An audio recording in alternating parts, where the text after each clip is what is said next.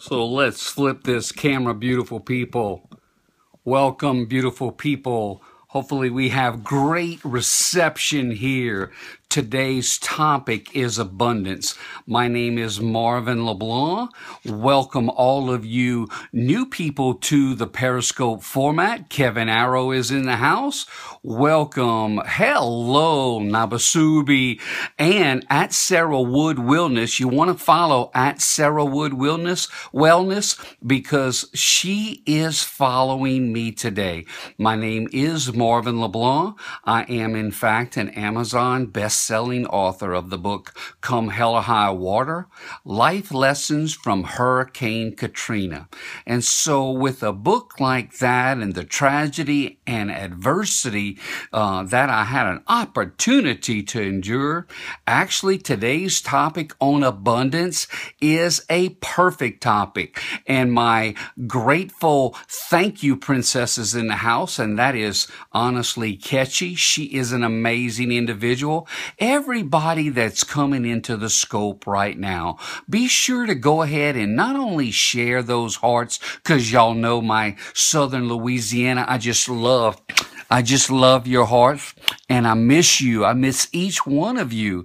But make sure that you follow everybody that you see here because what you're seeing scroll up right now is a long list of givers. It's also a long list of people that really love to live in abundance. You see, abundance is a choice. Abundance is an inside job. It's actually not an outside job.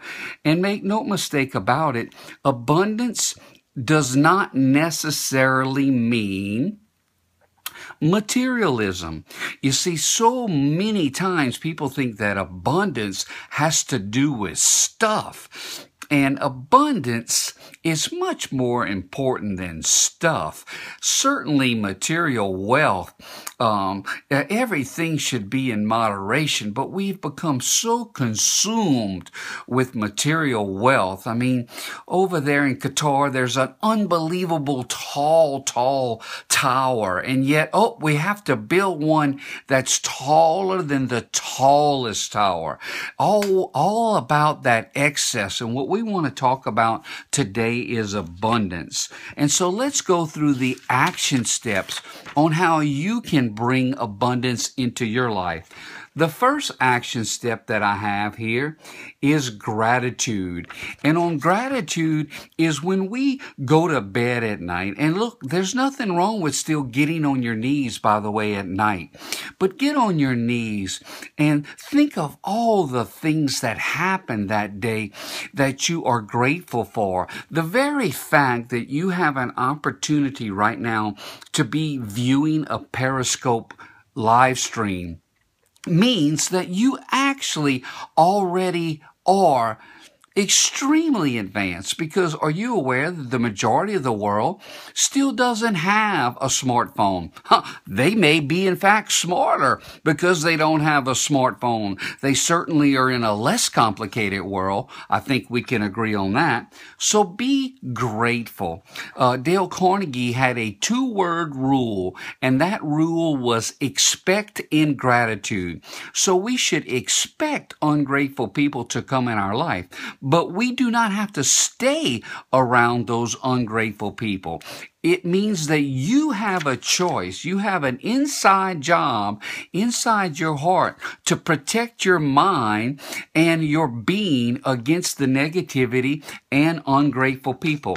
The second ap- action step, if you want to create abundance, is to donate. I said in here donate, and then I put a hyphen there, donate quietly. That means that you don't have to have a name on a building. Okay. You can donate quietly. You can actually, actually make a goal every day that no matter what, before you go to bed tonight, did I commit three random acts of kindness because in gratitude and in donating your time, your resources, that's where the abundance gets created. That's where abundance get created. Now, number three, give sincere praise. And what I'm talking about there is in a world that's always looking at the red X's of what we're not doing well, uh, oh, you should do this and you should that, do that. Well, guess what, Beth Hoover? Nobody wants to be should on, okay? So can we look at a person and call out to them on a daily basis what their strengths are and actually give them sincere praise and appreciation? Not, not any half-hearted, superficial comp- compliment. I mean, something that really matters. So the first action step towards abundance is gratitude. The second apps, uh, action step towards abundance is to donate your resources and your time quietly. The third action step is to give sincere praise and appreciation. And then the fourth action step is really hard for a lot of people, and that is to forgive and what I'm talking about is the reason why we have to forgive. Yes, it hurts. Forgiving is awfully hard, but it's also so important because you cannot live your life in a state of bitterness constantly being pissed off because of what somebody didn't do for you or because you had a certain expectation that they refused to live up to. That is a lose-lose proposition. So the reason why we have to forgive is for our own mental health for our own mental health is the reason we have to forgive. And then the last thing I want to tell you is that when we forgive, when we give sincere praise, when we donate quietly, when we show gratitude, and when we show love, what we have just done with those five action steps is we have just created an attraction People want to be attracted to others that are selfless. People want to be attracted to others that are givers.